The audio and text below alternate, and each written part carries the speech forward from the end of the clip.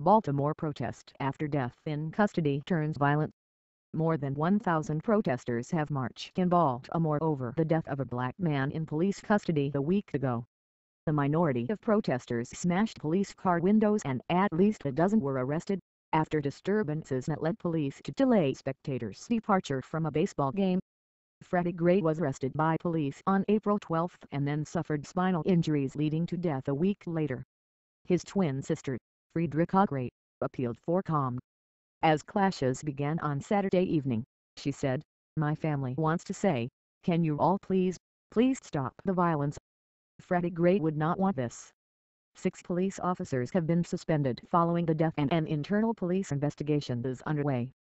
Gray, who was 25, is the latest of a series of black Americans to die in police custody in recent months, triggering angry protests accusing the police of brutality.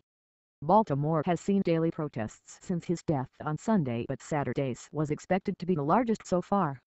Twin Rallies one of Saturday's rallies, organized by the People's Power Assembly, made its way from the Sandtown neighborhood where Gray was arrested to the Western District Police Station where an ambulance was called for Gray once he arrived in a police van, injured.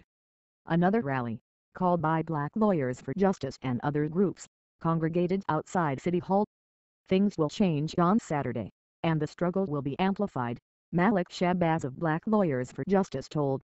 Before the march began, it cannot be business as usual with that man's spine broken with his back broken, with no justice on the scene.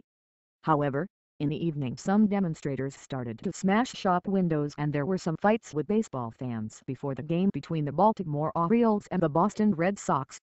Police Commissioner Anthony Batts admitted at a news conference on Friday that officers repeatedly failed to give Gray the medical attention he was due and that, contrary to policy, Gray was not strapped into his seat in the police van following his arrest.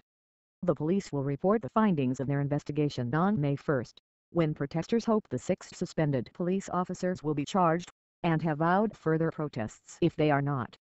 An independent review by state prosecutors will follow.